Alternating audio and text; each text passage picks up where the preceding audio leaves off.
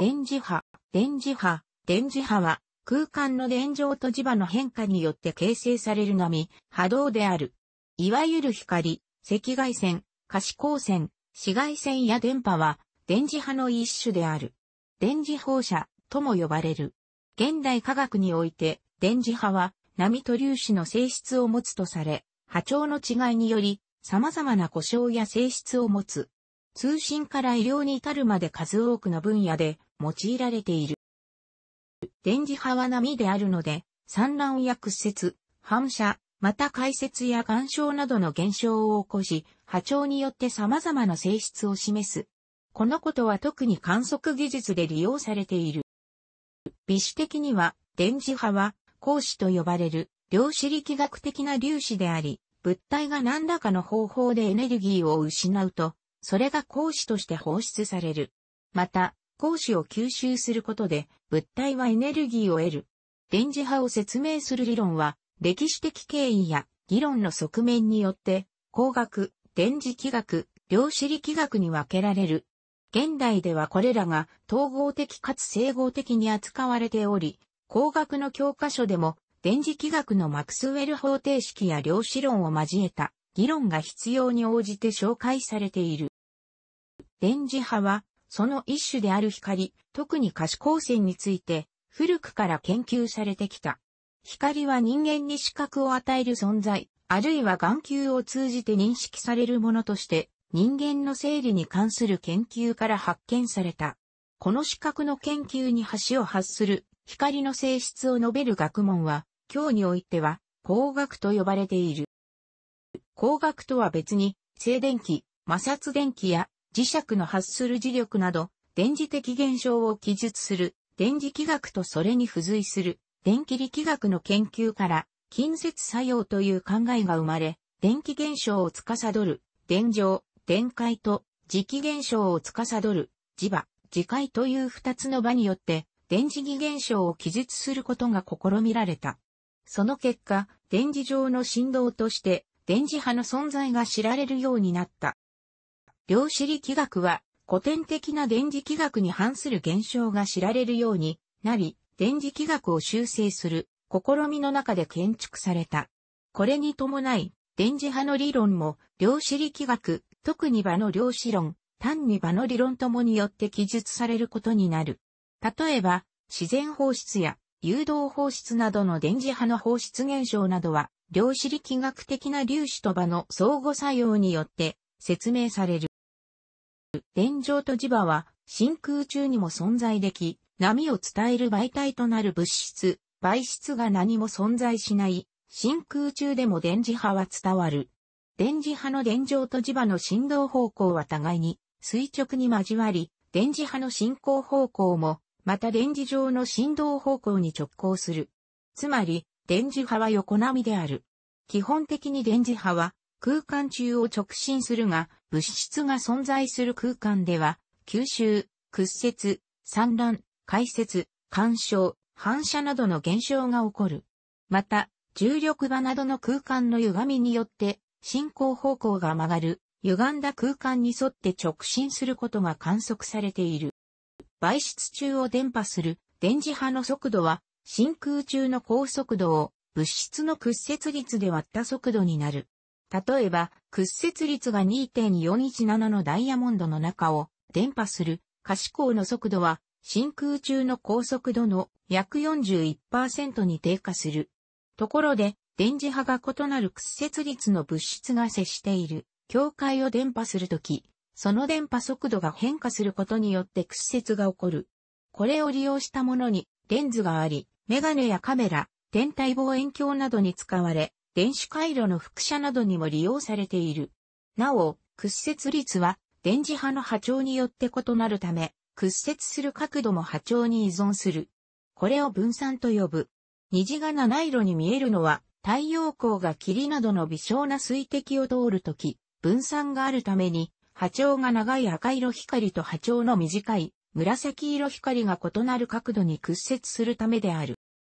電磁波は特にその波長によって物体との相互作用が異なる。そこで波長帯ごとに電磁波は違う呼び方をされることがある。すなわち波長の長い方から電波、赤外線、可視光線、紫外線、X 線、あるいはガンマ線などと呼ばれる。我々の目で見えるのは可視光線のみだが、その範囲、波長0.4マイクロメートルマイナス0.7マイクロメートルは電磁波の中でも極めて狭い。可視光線の中では単色光の場合、赤、黄、緑、青、紫の順に波長が短くなる。そのため、ある基準よりも波長の長い電磁波を赤い、波長の短い電磁波を青いと表現することがある。前述の通り、真空中では電磁波の速さは一定であるため、波長の長い電磁波は振動数が小さく、波長の短い電磁波は振動数が大きい。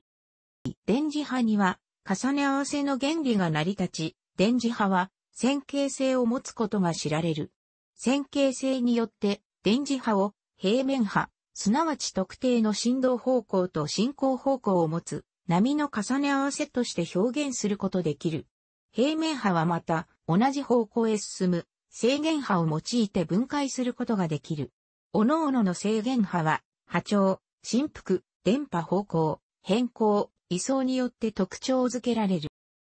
ある電磁波を多くの制限波の重ね合わせとみなしたとき、波長ごと、あるいは振動数ごとの成分の大きさの分布をスペクトルという。例えば、理想的な白色光は、すべての波長成分が一様に含まれている。逆に、単式光は一つの波長成分だけを持つ。1864年に、ジェームズ・クラーク・マクスウェルは、それまでに明らかにされていた、という電磁場に関する4つの法則を統合することによって、マクスウェルの方程式を完成させた。これは、電磁気学の基本原理である。電磁波は振動する電磁場であるため、マクスウェルの方程式によって、電磁波も記述することができる。マクスウェルの方程式は、電荷も電流もない空間では電場に対する波動方程式と磁場に対する波動方程式に帰着する。電磁場が波動方程式によって記述されるということは、電荷の運動に起因する電磁場の振動が波として空間を伝わるということである。マクスウェルの理論によって予想されたこの電磁波の存在は1888年にハインリヒ・ヘルツによる実験で確認され、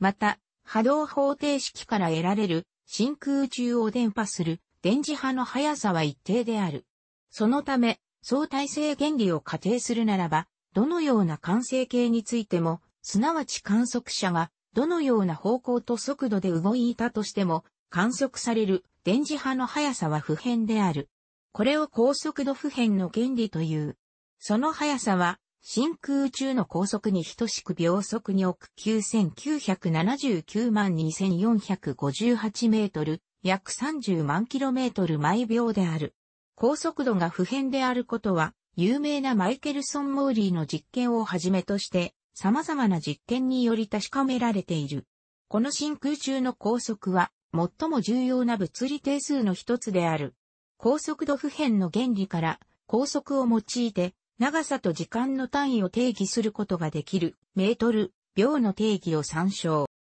波動方程式の解として、電磁場が時間の関数と空間の関数の積で表されるような変数分離系のものを仮定すると、電磁場は調和振動子として記述されることがわかる。波動方程式の線形性から、このような変数分離系の解の線形結合も、また波動方程式を満たす解となるため、一般に電磁場は独立な調和振動子の集まりであるとみなせる。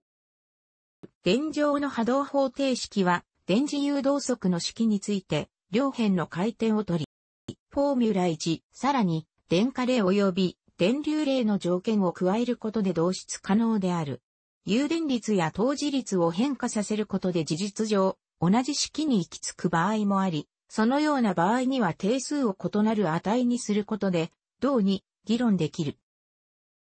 全式の左辺はフォーミュラ2と変形できる。さらに、電荷例すなわちフォーミュラ3であるためフォーミュラ4が残る。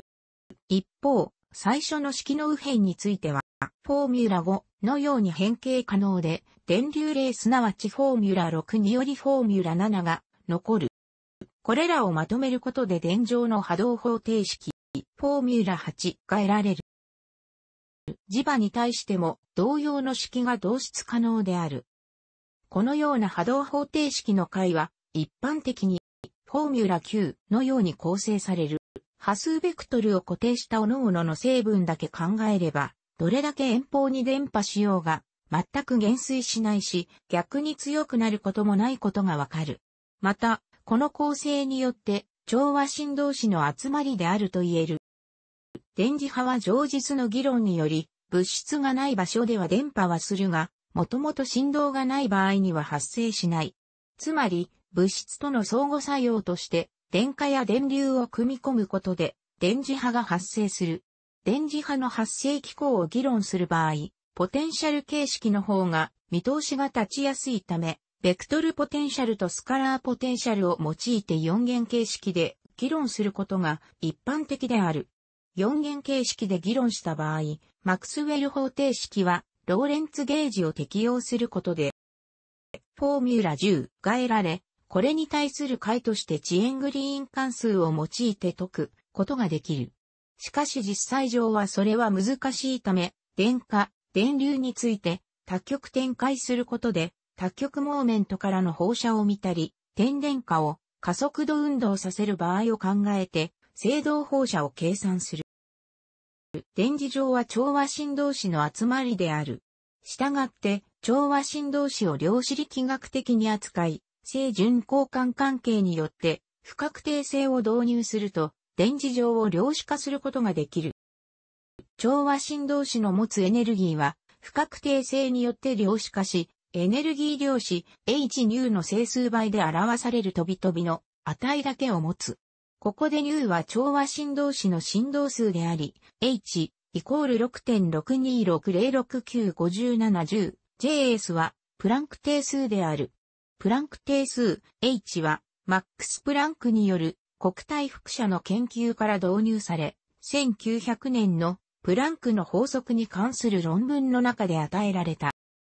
国体輻射の振動数ごとのエネルギー分布を与えるプランクの公式は、ビーンの公式、ビーンの放射法則及びビーンの変異則参照を手がかりにして、はじめは経験的に求められた。プランクの公式から導かれる帰結として、プランクはエネルギー量子仮説を提唱した。その理論的な根拠は、1905年に発表されたアルベルト・アインシュタインの量子仮説によって与えられた。電磁場の持つエネルギー密度は、マクスウェルの方程式から真空中では、電場の大きさと磁場の大きさの磁場和に比例する。したがって、電磁波のエネルギー密度は、電磁波の振幅の事情に比例する。一方で、アインシュタインの光量子仮説によれば、光子一つが持つエネルギーは、エネルギー量子 H 乳に等しい。電磁上のエネルギーは、エネルギー量子 H 乳の整数倍として表されるため、光子の総数は、電磁上のエネルギーに比例する。そのため、電磁上の振幅は、その振動数の平方根に比例し、また、光子の個数密度の平方根にも比例する。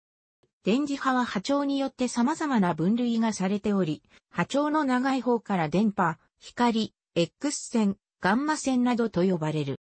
なお、これらの境界は統一的に定められたものではない。学問分野、国ごとの法律、規格等によって多少の違いがある。電磁波は波長によって様々な特徴を持つ。最も波長の長い電波は、進行方向に多少の障害物があっても進行することができる。このため、通信や放送などの長距離の情報送信に使用されることが多い。テレビやラジオ、携帯電話などが代表的である。電波よりも波長の短い光は物質に吸収されて化学反応や発熱などの相互作用を生じることがある。この現象は目が見える理由でもあるが、他に植物の光合成やリソグラフィーなどが該当する。さらに波長が短い X 線になると、光子の持つエネルギーが大きいため、分子に吸収されて熱振動に変わることはなく、物質を構成する電子などに直接作用する分子の熱振動に比べて原子を構成す電子の冷気エネルギーは大きい。そのため比重の小さい物質ほどよく透過するようになる。この現象を利用することで、レントゲン写真や X 線 CT を撮影することができる。工業や自然科学の研究の場では、X 線解説や X 線光電子分光など、物質の構造や元素の分析に用いられている。さらに波長が短いガンマ線になると、比重の重い物質で減衰は可能でも反射は困難であり、耐生成を起こすことが可能になる。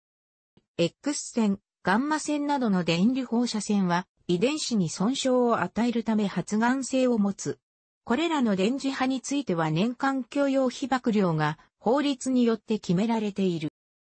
家庭で接することの多いのは 50Hz あるいは 60Hz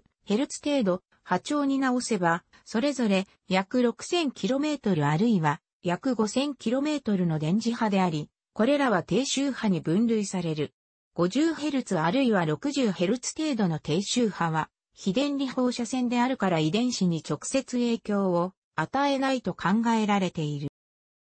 国際がん研究機関が2001年に行った発がん性評価では、送電線などから発生する低周波磁場には、人に対して発がん性がある可能性があると分類した。これは、コーヒーやガソリンエンジン肺、ガスと同じレベルにあたる。なお、性的電磁界と超低周波電界については、人に対して発がん性を分類できいと分類された。これは、カフェイン、水銀、お茶、コレステロール等と同じレベルにあたる。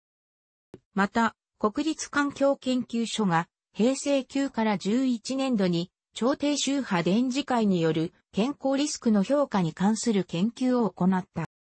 高強度のマイクロ波には電子レンジと同様に熱を生じるため生体に影響を与える可能性がある。このため、携帯電話などの無線機器などでは人体の電力非吸収率 SAR スプシフィカブゾアプションレート単位はワット、キログラムを用いた規定値が欧州のやアメリカ合衆国の連邦通信委員会などでは決められているほか、日本では国際非電離放射線防護委員会、イクナアップの電波防護ガイラインに基づき周波数 300GHz、波長 1mm までの電波について人体への影響を評価している。学会などでも比吸収率の計算、FDTD 法や人体を模した人体ファントムの組成の決定などが行われている。電磁波の健康への影響は調査自体が非常に難しい。一例を挙げると、アメリカ合衆国で公的機関で、 Research Public Information Dissemination、計画という国家単位での電磁波の健康に対する影響の研究が行われた。国立環境健康科学研究所が作成したパンフレットでは、臨床研究、細胞を用いた実験室での研究、動物を使用した研究、疫学研究の各分野を組み合わせ検証した結果でないと全体像が見えないと解説されている。1995年、電磁波問題に関する調査報告書をアメリカ物理学会が発表。癌と送電線の電磁波に関係があるという憶測には何ら科学的実証が見られないと声明。1996年、全米科学アカデミーはという結論を出した。1997年、アメリカ合衆国の国立がん研究所は7年間の疫学調査の結果から、小児急性リンパが急性白血病と磁場との関係は検知するにも懸念するにも微弱であると発表。この調査の過程で、白血病患者の家庭と送電線の近隣での居住、双方に全く関係が見られなかったことが判明。これにより、関係があるとされてきた統計学的分析結果はすべてエラーデータとなり、1979年に疫学者ナンシー・ワートハイマーとエドリーパーが作成した論文、小児白血病と送電線の磁場には関係があるの主張が完全な間違いであることが証明される。ンシーの調査結果は医学専門誌ニューイングランドジャーナル・オブ・メディシンに掲載。アメリカ合衆国科学技術政策局はそれまでの送電線騒動の研究に費やされた予算を送電線の移転、不動産価値の下落を含め250億ドル超と概算した。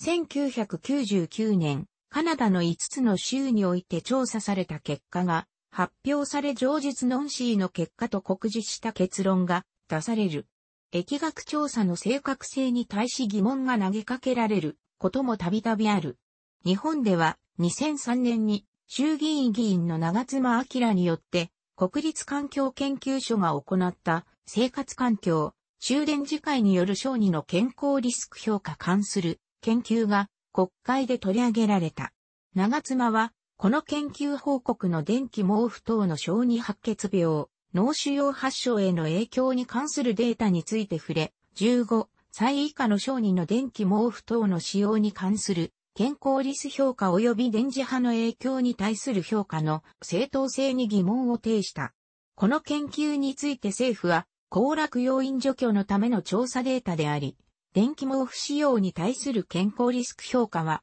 直接行っていないとし、調査そのものの正当性に関する指摘に対しては、優れた研究ではなかったとの評価がなされたところである、と回答している。電磁波そのものの影響については、子供部屋の平均磁界強度が0.4、μT以上の場合のみ健康リスクが上昇すること、等が示唆されているが、本研究の結果が一般化できるとは判断できない、と回答している。現在のエレクトロニクス機器、電子機器は、低電圧の信号を高インピーダンスで扱うことが普通であるため、環境中に強い電磁波が存在すると誤動作を生じやすい。その機器が誤動作を生じやすいか生じがたいかを測る指標としてイミュニティがある。特に携帯電話からは比較的強い電磁波が発せられるため、航空機や医療機器などへの影響が多数報告されている。航空機に関しては、携帯電話、携帯型ゲーム機等の電磁波の影響による運航景気の誤作動が多数報告され、その中には大惨事になりかねない事態を引き起こした例もあったため、まず各航空会社で規制が行われるようになった。2004年には改正航空法によって禁止される機器が定められた。2007年3月に同法は改正され、携帯電話、パソコン、携帯情報端末など電波を発する状態にあるものは常時使用禁止、電波を発しない状態のものでも離着陸時使用禁止とし、携帯音楽プレイヤー、デジタルカメラ、テレビ、ラジオ等も離着陸時使用禁止と定められた。ゲーム機に関しては、任天堂 DS やプレイステーションポータブルといった無線 LAN 内蔵の製品が存在しており、機内での使用も増えているにもかかわらず、それらが2004年の改正航空法及び航空法施行規則では、離着陸時のみ作動させてはならない電子機器として指定されてしまっていて、仮に無線 LAN の電波を発射させていても、法律上取締まれいという危険な状態であったが、各航空会社が規制を行い、その後2007年の改正で解消された。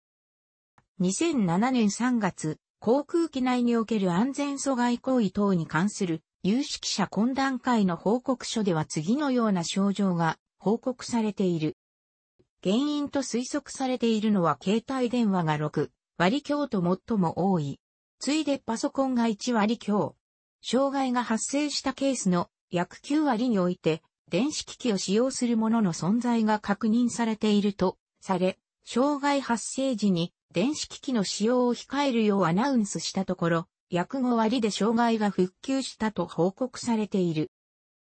2014年、規制緩和と常時接続できる設備が整ったため、飛行中でも携帯電話での通話、インターネット接続、ほか、電子機器の利用が順次解禁となった。医療機器に関しては、平成14年の総務省調査では、携帯電話から11センチメートル離れると、医療機器への影響はほぼ認められなくなる、とし、安全のために、ペースメーカーから22センチメートル以上離して、使用すべき等の指針を発表している。公正取引委員会は、電磁波によるネズミ撃退機について、効果が認められないとして、排除命令を出したことがある。アメリカ軍は、電磁波を利用した七姿勢兵器の研究を行っている。詳細はアクティブディナイアルシステムを参照。5、おさむき。